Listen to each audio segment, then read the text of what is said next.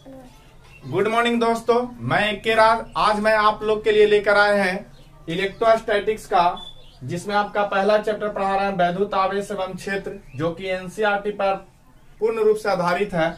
इसी एनसीईआरटी का भाग 1.2 आपको वीडियो नंबर वन में बता दिया गया था। आज मैं आपके लिए वीडियो टू लेकर आए हैं, जिसमें बताएँगे एनसीईआरटी का टॉपिक 1.3 और एनसीईआरटी का 1.4 1.3 में है चालक और विद्युत रोधी और 1.4 में आपको मिलेगा प्रेरण द्वारा आवेशन। हमने क्या किया है कि आवेशन की विधियाँ बताया है। जैसे आवेशन की तीन विधियाँ होती है, एक घर्षण द्वारा आवेशन, एक चालन द्वारा आवेशन और एक प्रेरण द्वारा आवेशन। जिसमें प्रेरण द्वारा आवेशन जो होता है, इसको एनसीआरटी ने अपना मुख्य रूप से टॉपिक बनाया है। हमने आपको आवेशन की विधियाँ मुख्य रूप से टॉपिक बनाया है। ताकि आपके उसके अंतर्गत तीनों विधियाँ समझ में आ जाए, जिससे आपका एनसीआरटी के साथ साथ और भी दो विधियाँ आपको जानकारी मिले।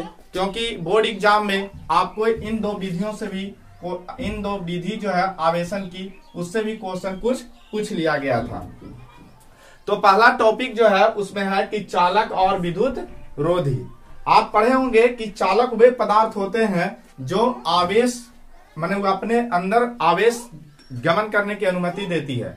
यानी जिस पदार्थ से आवेश गमन कर सकता है या आवेश को गमन करने की अनुमति देती है, वे पदार्थ, चालक पदार्थ कहलाते हैं। जैसे आप जानते हैं कि चांदी जो है, वो विद्युत का सबसे ज़्यादा चालक होता है। तो चांदी हो गया, लोहा हो गया, ये सब जो चीज़ है, तांबा हो गया तो ये सब चालक पदार्थ होते हैं, क्योंकि यह अपने अंदर आवेश को गमन करने की अनुमति प्रदान करती है। जबकि कुछ ऐसे पदार्थ होते हैं जो आवेश को अपने अंदर से होकर गमन करने की अनुमति नहीं देती है। वो ऐसे पदार्थ को हम कहते हैं विद्युत रोधी पदार्थ। जैसे सूखी लकड़ी हो गई, कांच भी हो जाता है, प्लास्टिक हो जाते हैं। तो ये सब ऐसे पदार्थ हैं जो आवेश को गमन नहीं करने देता है तो उसको हम विद्युत रोधी पदार्थ कहेंगे। मुख्य रूप से जो आपका टॉपिक है, वो है आवेशन की विधियाँ।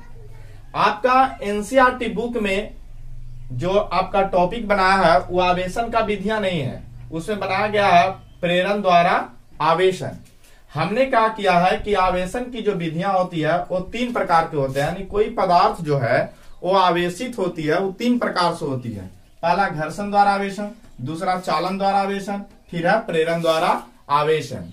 तो इसके इन तीन विधियों के द्वारा हम किसी पदार्थ को आवेशित कर सकते हैं। आपको पार्ट वन में बताया गया है आवेश के बारे में। तो आवेश किसी पदार्थ के अंदर आता कैसे है? वह पदार्थ आवेशित होते कैसे हैं? इसी को हम कहते हैं आवेशन, यानी पदार्थ के आवेशन। तो पदार्थ में जो आवेश आता है, वो घर्षण द्वारा आता है, चालन द्वारा आता है और प्रेरण द्वारा आता है। जैसे जनरल भाषा में आपको बता दिया जाए कि आपसे अगर कोई क्वेश्चन पूछता है कि मनुष्य के अंदर गुस्सा आता कैसे है तो आप कह सकते हैं कि उस मनुष्य को दुख पहुंचाते हैं, तब उसको मारते हैं, तब छेड़ते हैं, तब ऐसे बहुत सारे तरीका है गुस्सा आने का। लेकिन यहाँ पर जो पदार्थ को आवेशित करने का है, उसका मुख्य तीन तरीका है। तो हम एक एक तरीका को आपको बताएँगे। जैसे पहला आपको बताएँगे घर्षण द्वारा आवेशन, फिर बताएँगे चालन द्वारा आवेशन, उसके बाद बताएँगे हम अंत में प्रेरण द्वारा आवेशन। तो पहले देख लीजिए, आप हेडिंग लगा लीजिएगा, घर्षण द्वारा आवेशन। तो घर्षण द्वारा आवेशन में क्या होता है कि आवेशन की वह विधियाँ है, लिख लीजिए, आप कलम निकाल कर और कॉपी निकाल लीजिए। लिखिए कि घर्षण द्वारा आवेशन, यह आवेशन की वह विधियाँ है जिसमें कोई पदार्थ, दो पदार्थ होते हैं, जिसमें कोई दो पदार्थ एक दूसरे के ऊपर रगड़ा जाता है और रगड़ कर जब उसको दूर ले जाते हैं तो क्या होता है कि एक पर धन आवेशित होता है, एक पर ऋण आवेशित होता है, यानी वह पदार्थ क्या हो जाता है? आवेशित हो जाता है। जब दो पदार्थों को आपस में रगड़ा जाता है और रगड़ कर दूर दूर ले जाते हैं तो दोनों पदार्थ आवेशित हो जाता है। लेकिन एक पर प्लस आता है और एक पर माइनस आवेश आ जाता है। जैसे मान लो कि ये कोई पदार्थ है, दूसरा ये बी पदार्थ है। और ये दोनों पदार्थ को जब आपस में रगड़कर दूर दूर ले जाते हैं तो ए पर धन आवेश आ जाता है और बी पर ऋण आवेश हो जाता है। ऐसे होता कैसे है? क्योंकि जब दो पदार्थ को हम आपस में रगड़ते हैं तो उनके बीच इलेक्ट्रॉन जो होता है, उसके आदान प्रदान होती है। तो इलेक्ट्रॉन के आदान प्रदान होने से क्या होता है कि जिस पदार्थ से इलेक्ट्रॉन निकलता है, उस पर धन आवेश आ जाता है, और जो पदार्थ इलेक्ट्रॉन को ग्रहण कर लेता है, उस पर क्या आ जाती है? ऋण आवेश। यानी इलेक्ट्रॉन को निकलना, इलेक्ट्रॉन को डोनेट करना और एक्सेप्ट करने पर निर्भर करता है कि वह पदार्थ धन आवेशित है या ऋण आवेशित है। अगर ये पदार्थ इलेक्ट्रॉन को त्याग किया है, डोनेट किया है तो जितने इलेक्ट्रॉन को डोनेट करेगा, उस पदार्थ पर उतना ही प्लस आवेश आ जाएगी। और जो पदार्थ किसी इलेक्ट्रॉन को जितना ग्रहण करेगा, उस पदार्थ पर उतना ही ऋण आवेश आ जाता है। तो इस प्रकार यह धन आवेश है और वो ऋण आवेश है। एक एग्ज़ाम्पल है कि जब कांच के छड़ पर रेशम के टुकड़े पर रगड़ा जाता है, रेशम के टुकड़े से, यानी रेशम के धागा भी कह सकते हैं, जब हम कांच के छड़ पर रगड़ते हैं तो होता क्या है कि कांच के क्षण जो होते हैं वो धनावेशित हो जाता है और रेशम का टुकड़ा ऋणावेशित हो जाता है। ये बोर्ड एग्ज़ाम में पूछ चुका है क्वेश्चन। ये क्वेश्चन पूछता है कि जब हम रेशम के धागे को कांच के टुकड़े से रगड़ते हैं तो कौन धनावेशित होता है और कौन ऋणावेशित होता है? तो याद रखेंगे, कांच के क्षण जो होता है, वह धनावेशित हो जाता है और रेशम के जो, रेशम के जो धागे होते हैं, वह क्या हो जाती है? ऋण आवेशित हो जाती है। तो इस प्रकार हम किसी पदार्थ को घर्षण द्वारा आवेशित कर सकते हैं। फिर से एक बार समझ लीजिए कि घर्षण द्वारा कोई पदार्थ आवेशित कैसे होता है?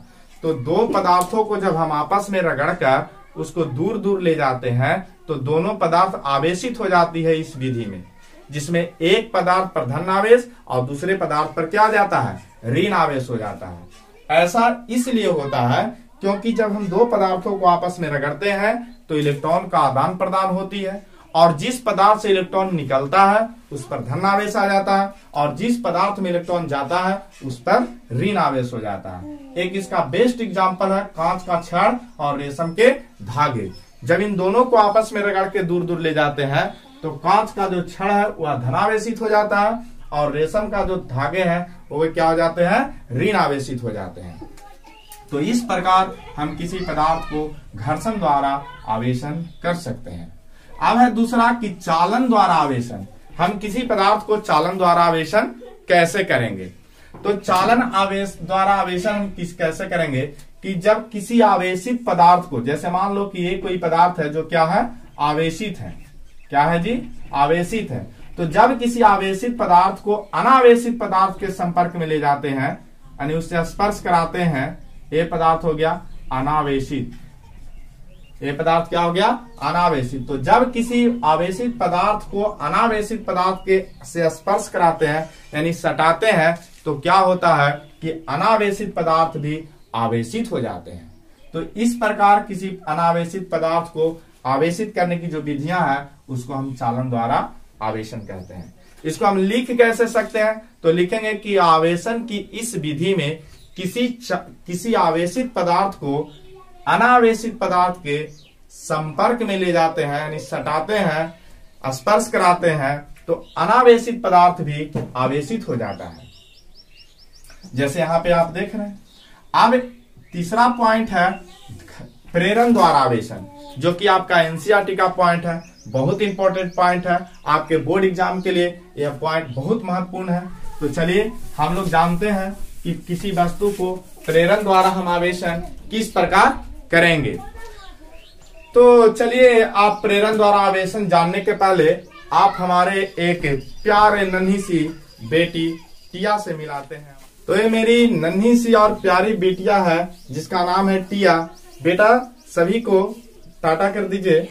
टाटा। हाँ और हम उम्मीद करते हैं कि आप लोग इसे चलिए आप अभी हमारे एक नन्ही सी बेटी टिया से मिले उसके बाद हम आपको उसके प्यार पाकर आपको बताना चाहेंगे प्रेरण द्वारा आवेशन। इसमें क्या होता है यह आवेशन की वह विधि है जिसमें कोई आवेशित पदार्थ को जैसे मान लो कि एक कोई क्या है आवेशित पदार्थ है।